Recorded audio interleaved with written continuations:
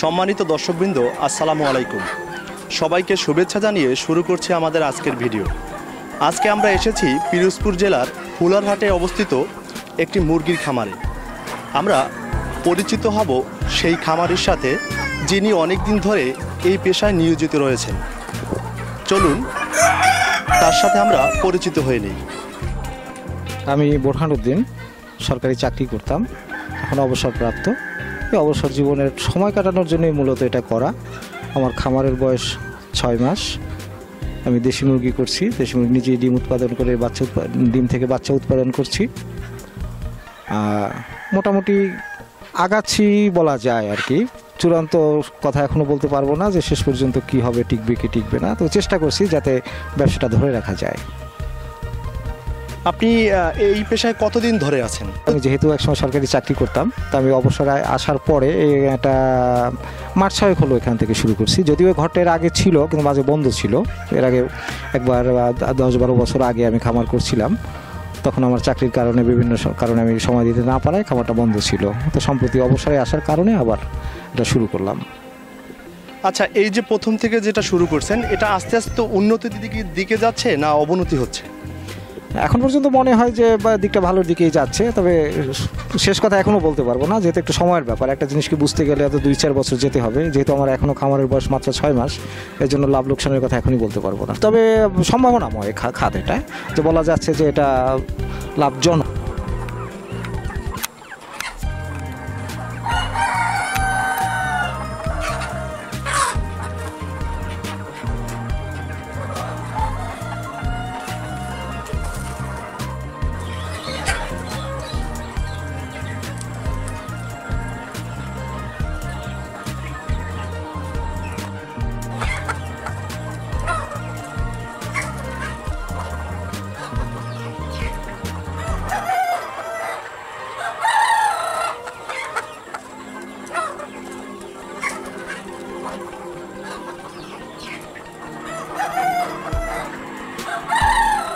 আপনি কি এই যে মুরগির বাচ্চাটা, এটা কি নিজেই উৎপাদন করেন না বাহির থেকে ক্রয় করেন? বাচ্চাটা আসলে আমি দেশি মুরগি করতে চাচ্ছি। আমি গ্রাম থেকে প্রথমে ডিম সংগ্রহ করি। ডিম সংগ্রহ করে নিজস্ব ইনকিউবেটরে এই বাচ্চাগুলো ফোটাই। তো এখানে কিছু ডিম আসছে, ওই যে বিভিন্ন ধরনের, অর্থাৎ খাঁটি দেশি আসে নাই। তো এখন আমি সব আছে মুরগি আমার আছে, খাঁটি দেশি আমি বাছাই করে রাখছি। ওরা ডিম পাড়া শুরু করছে এবং ওই ডিম থেকেই এখন আমি বাচ্চা করি নিচে বাড়ি থেকে বাচ্চা কিনি না বা অন্য কোথা থেকে সংগ্রহ করি না। আপনি কি মূলত এই ডিমগুলোকে বিক্রি করতে চাচ্ছেন, না এটা থেকে মুরগিগুলোকে বিক্রি করতে চাচ্ছেন? আমি ডিমগুলো বিক্রি করতে চাচ্ছি না, আমি মুরগি। ডিম থেকে বাচ্চা করে এটা বাচ্চা বিক্রি করতে চাচ্ছি, মাংসের জন্য এবং ছোট বাচ্চাও, দুটোই করতে চাচ্ছি।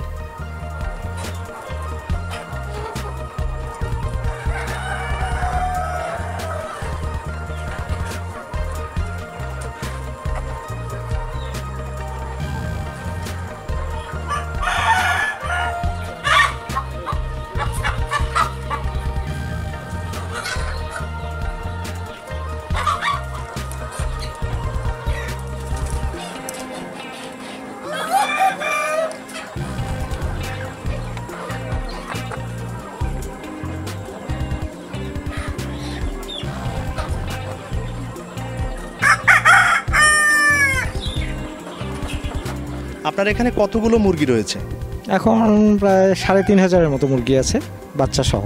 মানে একদিনের বাচ্চা সহ ডিম পাড়া পর্যন্ত সাড়ে তিন হাজারের মতো আছে মুরগি। তো আমার ঘরের ধারণ ক্ষমতা প্রায় দশ হাজার। একদিনের বাচ্চা থেকে বিক্রি পর্যন্ত দশ হাজার মুরগি এখানে ই করা যাবে পালন করা যাবে। সে পরিমাণ জায়গা আমার ঘরে আছে। আপনার এই মুরগি থেকে ডিম আসছে কিনা? হ্যাঁ ডিম আসা শুরু করছে। আমরা এখনও টেন থেকে টোয়েন্টি পার্সেন্ট ডিম পাচ্ছি যে মুরগি আছে সেই তুলনায়। এই ডিমগুলো আপনি কি বাজারজাত করেন?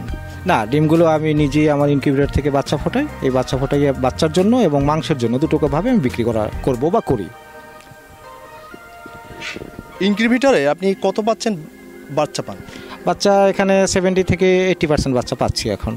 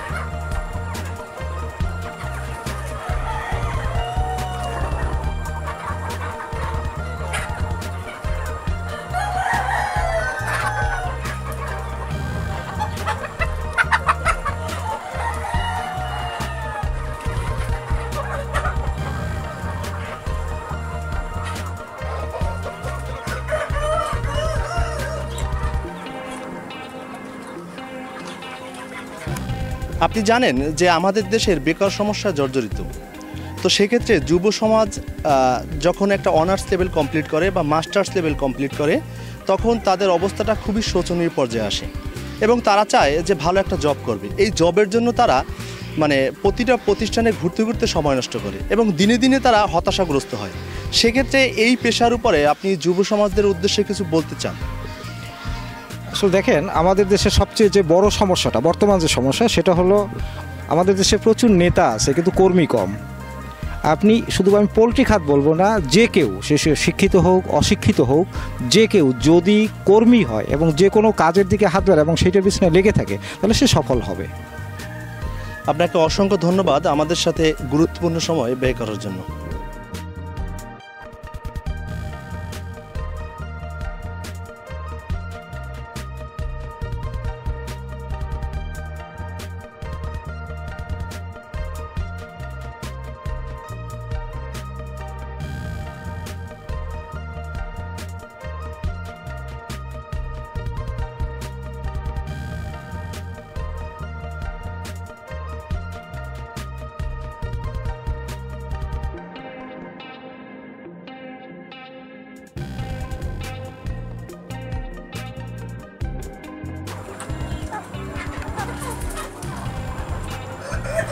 ধন্যবাদ দর্শক, আপনারা এতক্ষণ দেখছিলেন বৃত্ত টিভি, সাথে ছিলাম আমি মাহবুবুল আলম।